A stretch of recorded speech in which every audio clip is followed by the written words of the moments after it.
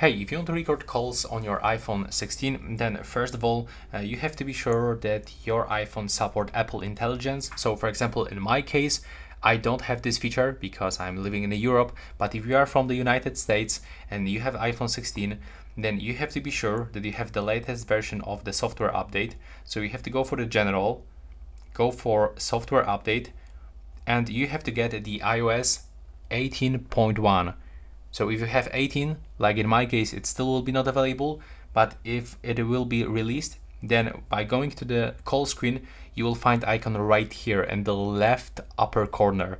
Then you will be able to tap on this icon and there will be like the voice announcement that the call will be recorded. And after the call finish, you will be able to find all of these records in your notes.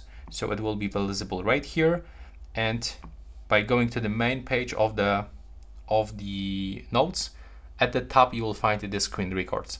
But as I said before, if you are from the Europe, where, where there is no Apple Intelligence, that you will be not able to do this. So we have to just wait for the updates with Apple Intelligence. Thanks for watching.